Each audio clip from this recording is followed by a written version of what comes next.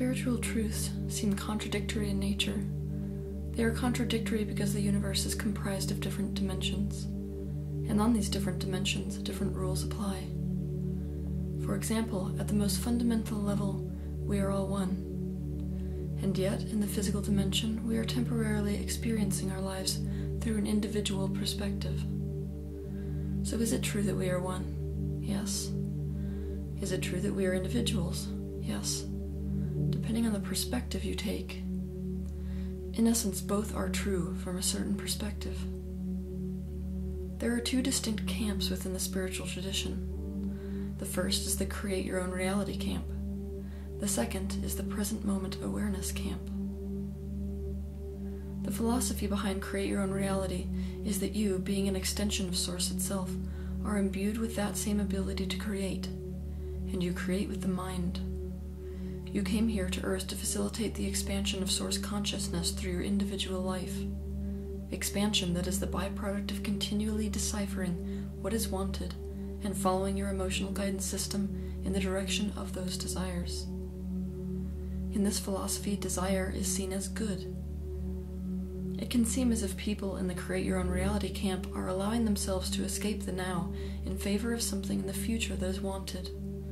Of course, they will tell you that if you focus on what is, all you get is more of what is. The philosophy behind present moment awareness is that all desire is a byproduct of aversion, and therefore there cannot be wanting or seeking without pain.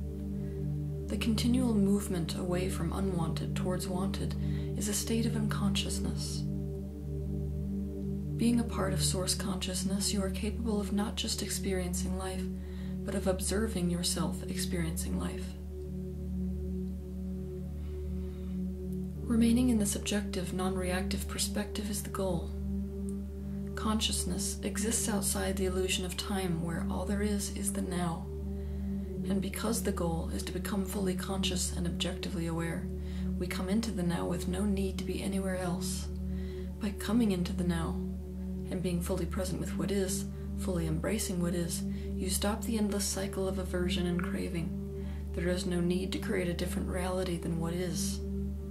Ironically, it can seem as if the people in the present moment awareness camp are removing themselves from the game of expansion called life.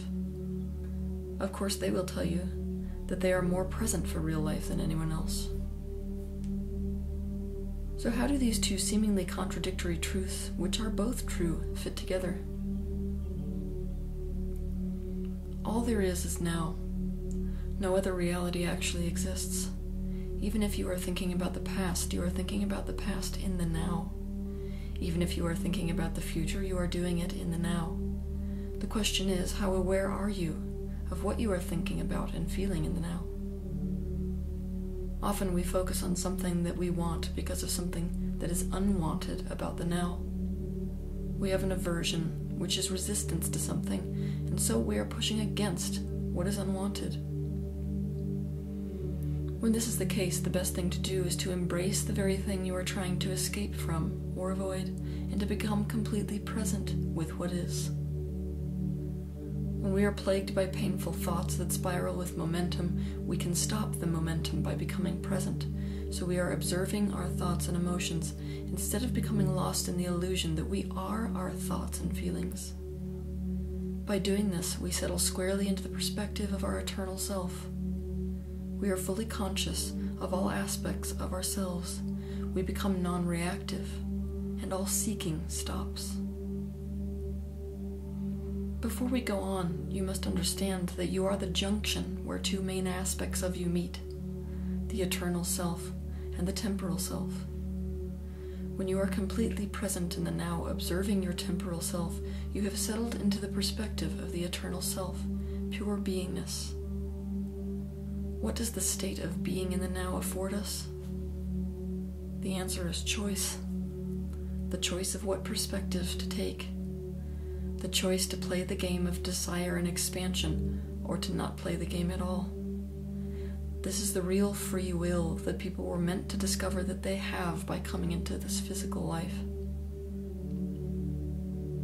Until you reach the point where you are capable of stepping out of the temporal perspective of the ego and being completely present with yourself and your world in the now. Subjectivity or objectivity is not a choice.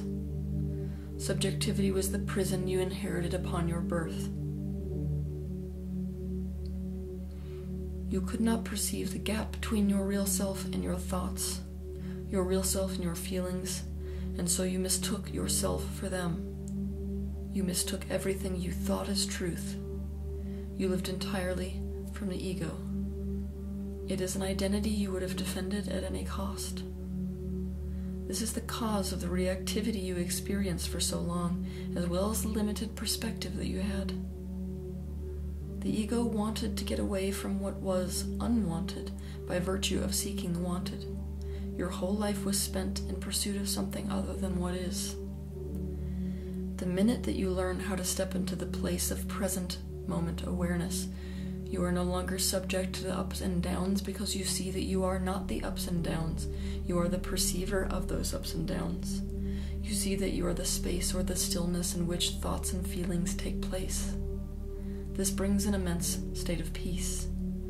And here is where one begins to live in a state of self actualized godhood. From this point on, you are free to create your reality with your mind intentionally through the use of deliberate focus but now your choices are no longer the byproduct of aversion, and so there is no craving. You choose which thoughts to follow and allow to gain momentum and thus attract experiences into your reality. Your mind is a tool of yours instead of you being at the mercy of it. Instead of craving, we recognize our infinite creator nature and choose. We choose to be wealthy or not and we do not choose so from a place of pain. In other words, I don't want money because I'm poor. I want it because I'm saying yes to that perspective. Inspiration is what causes our movement towards things that we choose. The ego, our individual identity that we call by our name, becomes a choice, like a tight skin that we are no longer stuck to. We can now choose in any given moment to live life through its perspective or to instead slip out of it and live through the perspective of the eternal self. We are now exercising free will. We are completely in the now. We are making choices from the now. We are aware of why we are making those choices. We are creating expansion in the universe consciously. We begin to create a reality by virtue of choice and free will instead of by virtue of resisting or hating the one we are currently living in. We see all things as transient. We see that the now is a byproduct of thought that has come before. We embrace it. We see the beauty of creating new, so we embrace that also. We focus on things we wish to see created in the now, so they may manifest in the now for us to observe and experience. We choose to live. We are no longer here by what feels like default. He who is truly free is not absent of ego. The goal should not be to get rid of ego, it serves a purpose, and it can also be a lot of fun. After all, without it, self actualization could not ever take place. Our goal should be instead to recognize and acknowledge ego for what it is, and then use it in a way that is beneficial. Ego is part of you, but it is not all of who you are. He who is truly free has the choice to experience ego or step back from ego, or slip out of its skin. He who is truly free has the choice to embrace what is or focus on what is preferred in the now. Choice is why these seemingly contradictory spiritual paths are in fact complementary. They fit together perfectly like peanut butter and jelly, provided they are unfolding within a person who is aware of their ability to consciously choose.